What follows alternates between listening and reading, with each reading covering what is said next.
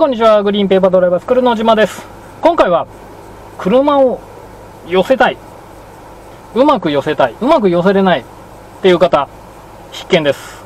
駐車の時にも寄せたりとか、あと、路上に車をちょっと路肩に寄せて止めたいなっていう方がいると思うんですよね。まあ結構寄せて止まるっていうことはね、必要になること多いですね。すれ違いもそうだし、そういう時にうまく全然寄れないっていう方いますよね。これね、寄せ方が間違ってるんですよね。ちょっとね、あの、やってみましょうか。えーとね、右の寄せをやってみます。とりあえず先に。まあ、右も左も両方やります。右の寄せは基本的に駐車するときぐらいかな。日本左側通行なので、路肩に寄せるのは左側になるので、右に寄せるっていうシチュエーションはほとんどないと思うんですよね。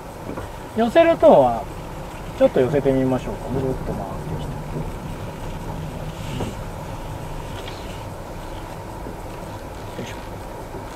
まあ、ちょうど緑の線に今ね乗っかって止まった形なんですけど、まあ、こういう感じで寄せてもらえればいいんですけれども寄せる時にまずは何を寄せようと思ってるかですよね。車を右当たり前じゃん車を右に寄せるんでしょっていうふうに思われると思うんですけれども車を右に寄せるんじゃないですよね。寄せたいのは他の動画でも言ってる通り右に寄せたいなら車の右の後ろを寄せたいんですよね。右の後ろのタイヤ。右の後ろのタイヤを右に寄せたい。ここのところをきちんと理解しておかないと車は右に寄りません。なのでああ右に寄せればいいんじゃないって思ってると寄らないんですよね。これなんでかっていうと自分が前向いて運転してる形になるので寄せようと思った時に前を右寄せ、ま、持ってきますよね。今こうやって回ってきて。ああ赤い三角コーンのとこに前持って。こうやって向けますよね。で前が右を向いた時に当然ぶつかってっちゃうから左にこうやって回しますよね。そうすると車こうやって離れるんですよね。だからいつも寄らないと思うんですよね。寄らない人っていうのはね。これあの車の動きとしては基本的にあのやってることが矛盾するんですよね。右に寄せたいのに左にハンドルを切るので左にハンドルを切れば当然車は左に行ってしまいます。だから右に寄せてるのにいつも左に。だから右に寄らない。だからこうやってギュッとこうやって。やるとあれ？あれ寄ってねえな。ねまっすぐになってから気づく。そうするとまたこうやって切ってまたこうやってやるんだけどあれあんまり変わってねえな。っていうふうなことを多分繰り返してんじゃないかなと思うんですよね。こういうふうになる方っていうのは前を寄せようとしてるんですよね。右だったら右の前左だったら左の前を寄せようとしてるので車をね斜めにこう持ってっちゃってるんですよね。止めたい方に。ガーンと。でこういう風になった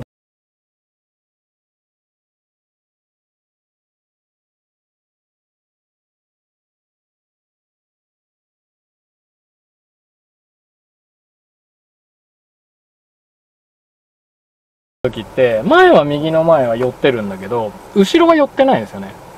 だからここから前が危ないからって言って左にハンドルを切ると車は左に当然行くのでこうなった時に右の後ろが絶対寄らないんですよね。左にハンドル切ってるので車左行っちゃうので。右に切ってれば当然車右に行くんだけど左に切ってるんで後ろのタイヤが左に寄る右に寄るってことはない。だから左に離れてまっすぐになった時に初めてあれ？じゃあもう一回よいしょ。よっ。あれ？じゃあもう一回。よいしょ。これ以上あとある。あれあんまり寄らないな。多分これを繰り返してんじゃないかなと思うんですよね。あ寄せ方がねうまくいかない方っていうのは多分こういう風にしてしまってるのでじゃあどうやって寄せるか。要するに右の後ろのタイヤを寄せたいので寄せる。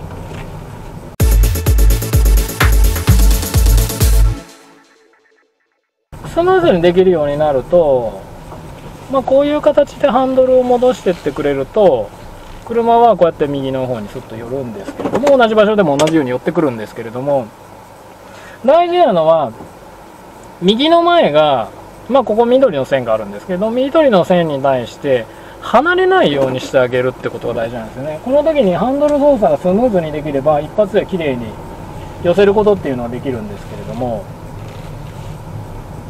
ただこうやってぐるっと回ってきた時に前が向いてきて右の前が緑の線の方から向こうにはみ出ちゃうのはまずいので向こうの先の方に右の前が行くようにハンドルをこう戻したりしてあげるんですよねこうやって。そうすると綺麗に後ろが寄ってきてくれます。これねあのちょっと理屈を覚えておいてほしいんですけれども車は右に寄せようと思うっていうことは右にハンドルを切るって多分考えてると思うんですよね。このねその考え方をやめていただきたい。右に寄せたいから車ハンドルを右に切るっていうのはねこれ×です。じゃあどうやって右に寄せるかっていう風ですよね。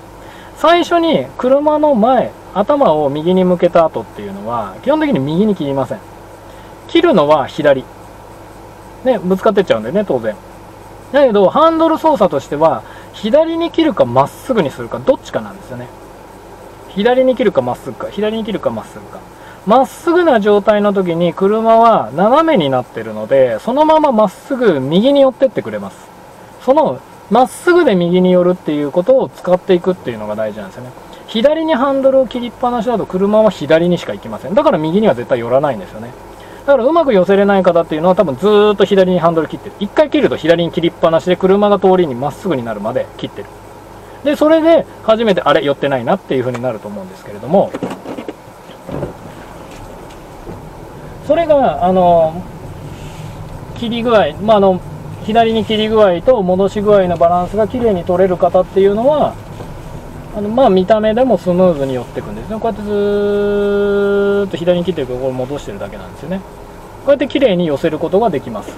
これができる方っていうのは全く苦労せずにパッと寄せることができるんですけれども後ろのタイヤを寄せようっていう意識があるのでできるんですけどこれができない方いやもうこれ難しいよっていう方はちょっとねやり方をお教えします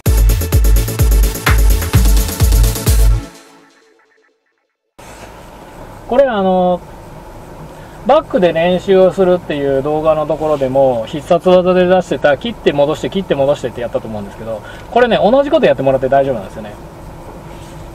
これねちょっとね覚えておいてください。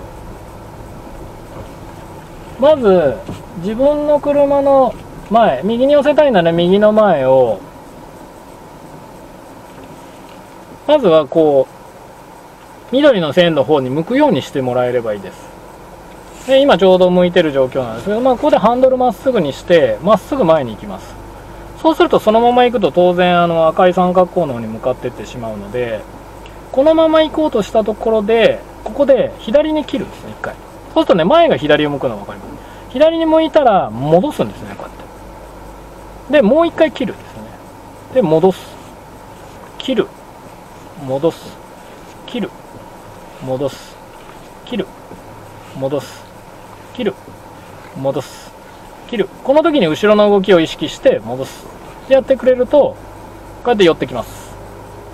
ちょっとねちょっと外カメラをね別アングルで見てもらおうかなと思います。後ろの寄り方を見といてください。ハンドル操作と合わせて。こうやってぐーっと前を向けてハンドルをここで今左に切ってるけどまっすぐにしちゃうんです。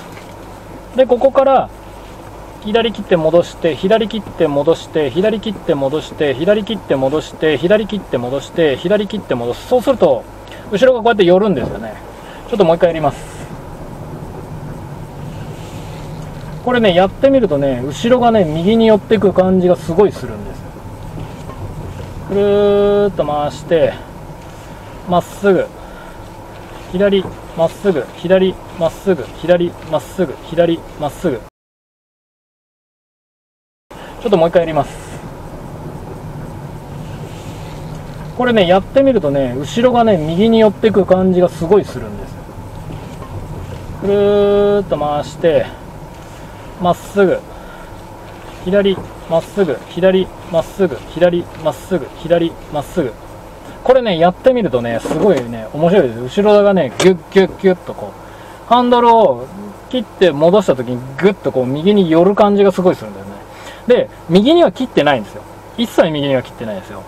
最初に右に向けてるだけなんですよね。最初に右に向けただけでそこからは左に切ってまっすぐにしてるだけなんですよね。作業としては。なのに車の後ろっていうのは右に寄るんですよね。普通に考えると不思議に感じると思うんですけどまっすぐにした時に車は右を向いてるので右に寄るんですよね後ろも。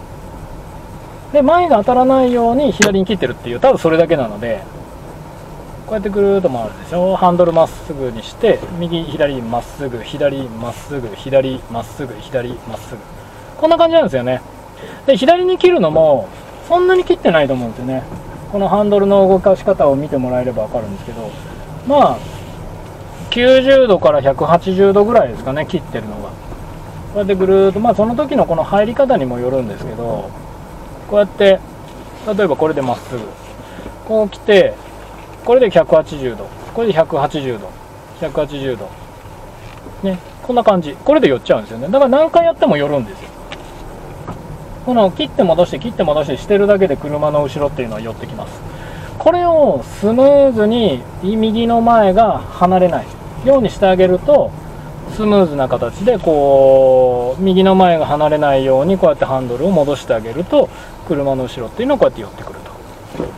この戻し具合っていうこの切り具合戻し具合っていうのが右の前が離れないようにできるようになれば全く苦労なく車は寄ってくるんですけどこれが難しいっていう方はずーっと来た時にこうやってまっすぐ左に切ってまっすぐ左に切ってまっすぐ左に切ってまっすぐ左に切ってまっすぐ左に切ってまっすぐ左に切ってまっす。ぐそうすると車っていうのはこうやってやってくるというような形になりますのでいっぺんちょっとね試してみるといいかなと。思います